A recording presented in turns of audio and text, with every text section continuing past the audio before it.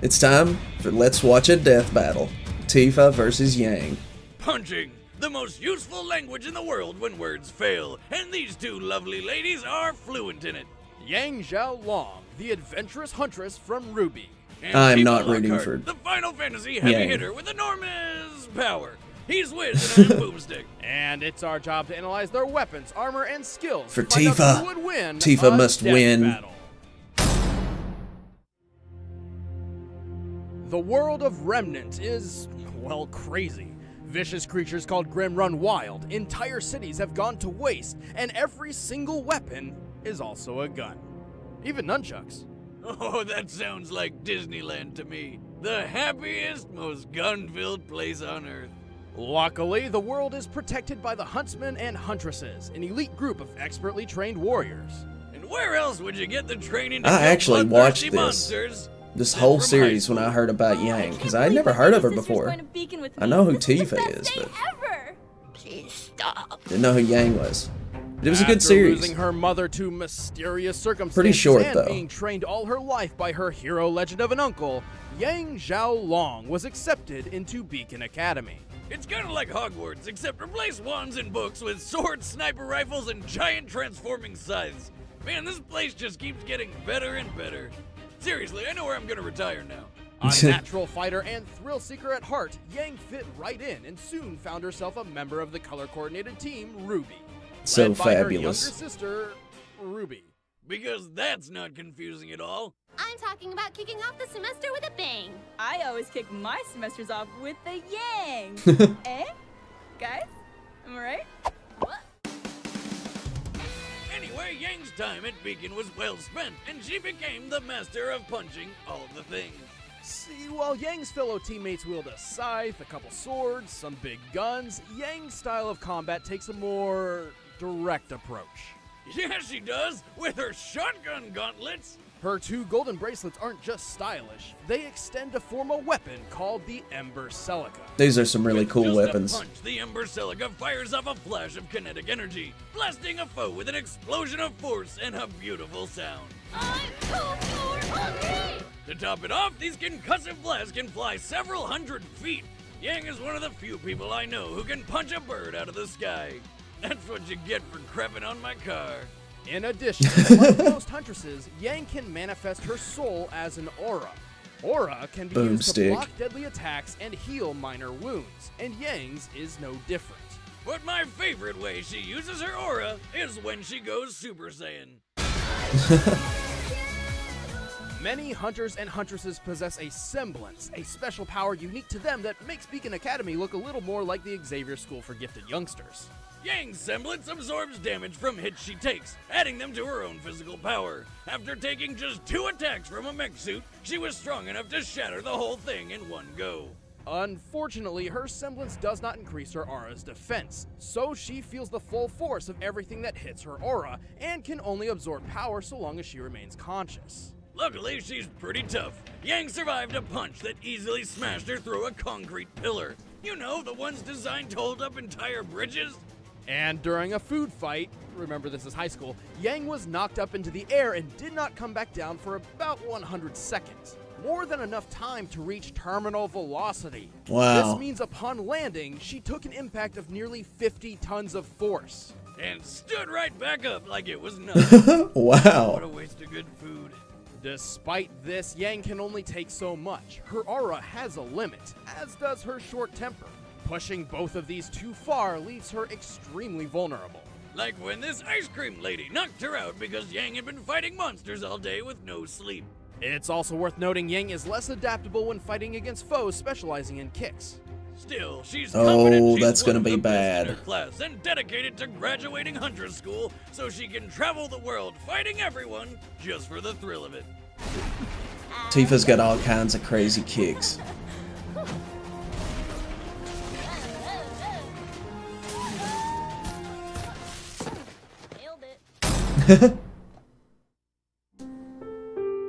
Far to the west on the planet Gaia, Here lies comes my girl. village called Nibelheim.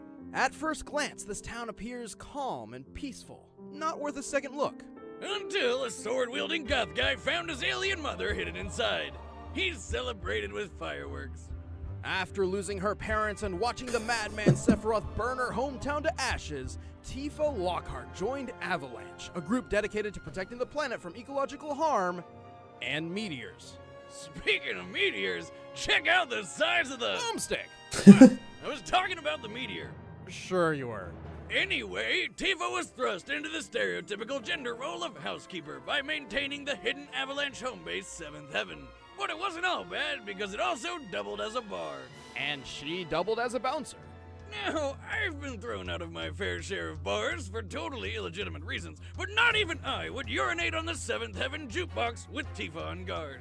Smart choice, since she is a master of close quarters combat. Tifa is a feint brawler, adept at surprising foes with quick, powerful strikes. And as she traveled with her friend Cloud to save the planet, she learned seven legendary techniques, the limit breaks. Awesome. They're so awesome. Accessing her inner gambler, Tifa's limit breaks include rapid fire punches, explosive throwdowns, and summoning dolphins who uppercut people? Well, that's just awesome! And if she manages to throw all of them in order, she charges the last of her limit energy into one final titanic punch. The final heaven. Yep. Fuck you, squirrel! Tifa is ready to throw down at a moment's notice, and even wears leather gloves everywhere she goes just in case a fight comes her way. And if she decides to get really serious, Miss Lockhart busts out her two round, beautiful ultimate weapons. Don't you dare! The Premium Heart. Oh. Well, the premium heart increases Tifa's striking power I love it when Ben says, "Don't you dare." over time as she builds limit energy. However, they lose this increase after Tifa uses her limit breaks and need time to charge back up. Oh, that sounds like it could be a problem. Oh, if she didn't also have magic. In Final Fantasy VII, there's a wide variety of magical ability granting gems called materia. Any person can wield any materia, and it's up to the game's actual player to decide who gets what, giving Tifa no standard materia setup. However, thanks to the Dissidia Fighting series, we know Tifa prefers to carry fire and ice materia into battle. These fire and ice materia let Tifa conjure and wield fire and ice. Combine that with her freakish superhuman strength, and she's like an unstoppable powerhouse. Well, her immense power does come at a price. Her skills in speed and defense are somewhat lacking, making her something of a glass cannon. But to help make up for this, Tifa wears two armor pieces. She wears a ribbon on her arm in memory of her late friend Aerith, Come on, man. Don't bring that up. Yeah, that was which protects her from negative effects like poison and paralysis. She also likely wears the Minerva band to defend from fire and ice. Glass cannon or not, her strength is ridiculous. She's strong enough to fight an embodiment of Sephiroth and throw giant monsters around like nothing. And there was the time she helped throw Cloud through the air to reach the flying monster Bahamut Sin.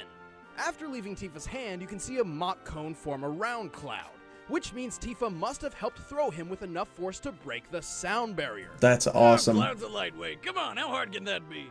Well, factoring in the weight of Cloud and his giant weapon, he must have been thrown with up to 153 tons of force.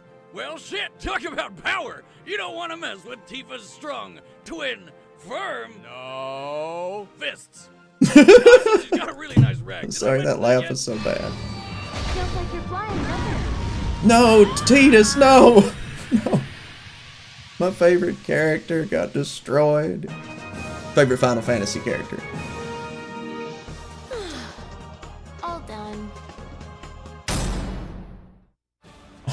Right, the combatants are set. Let's end this debate once and for all. It's time for a death battle!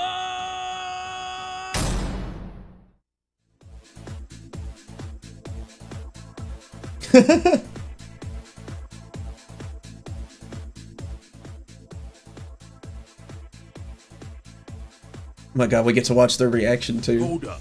Let me see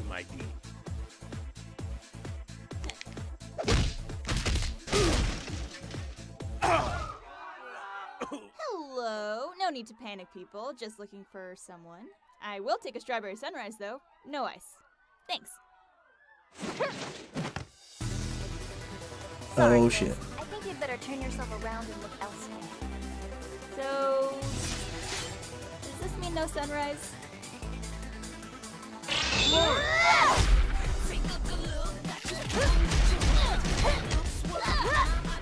Tifa starts right out with a kick.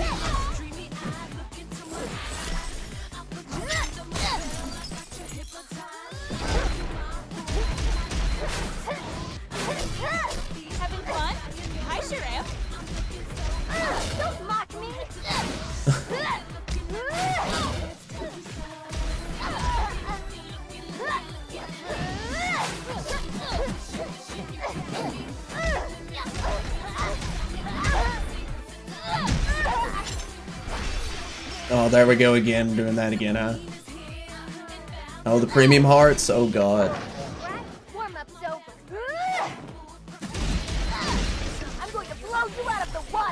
Oh shit.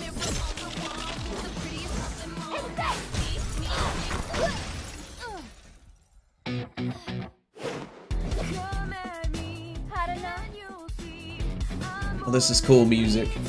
This is from RWBY, by the way.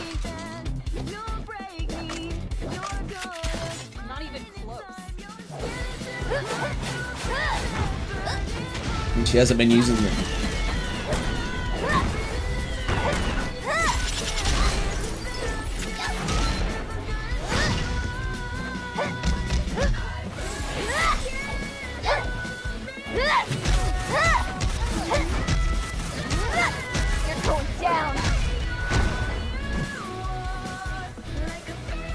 This is so awesome.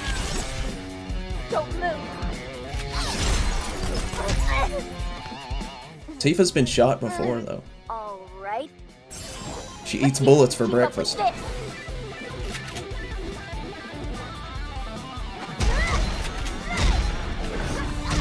Slamming down on that wall pedal.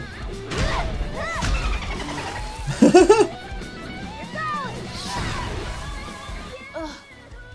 I just explode?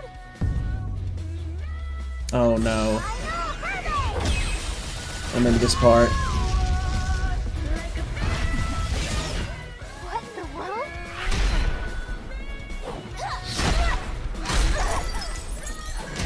Broke the premium hearts, huh?